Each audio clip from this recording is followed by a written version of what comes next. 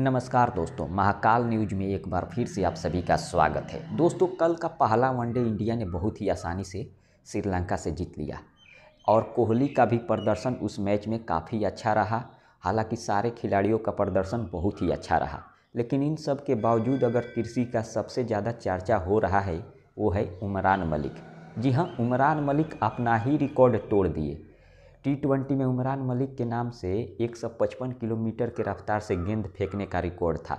लेकिन कल उमरान मलिक ने अपना ही रिकॉर्ड तोड़ते हुए एक सौ छप्पन किलो के रफ्तार से गेंद फेंक कर सभी को चौंका दिया। और ख़ास बात यह है, कल कोहली को मैन ऑफ़ द मैच बनाया गया। लेकिन कोहली ने अपना man of the match Umran Malik को दे दिया। कोहली का कहना है, असली हकदार उमरान मलिक है। फ़िलहाल आपका क्या राय है? कमेंट करके ज़रूर बताइएगा। मिलते हैं अगले वीडियो में। धन्यवाद।